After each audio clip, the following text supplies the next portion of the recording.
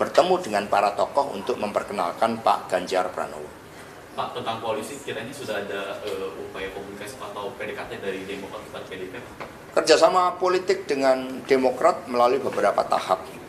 Ya, tahap komunikasi politik sudah dilakukan, bahkan uh, sudah cair, kita sudah saling berkomunikasi. Mbak Puan berkomunikasi dengan Mas Ahaye, bahkan pertemuan yang diadakan di Gelora Bung Karno itu mendapat respon sangat positif dari masyarakat Indonesia. Kami dalam level kesekjenan juga komunikasi.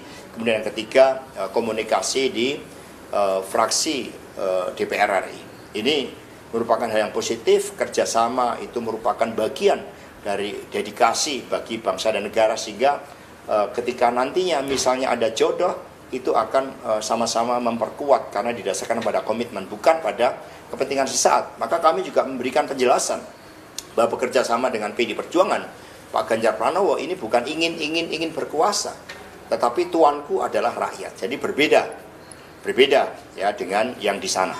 Jadi ini yang mendasari sehingga komitmen terhadap bangsa dan negara ini harus dikedepankan dan kami percaya bahwa uh, Demokrat juga mengedepankan hal itu.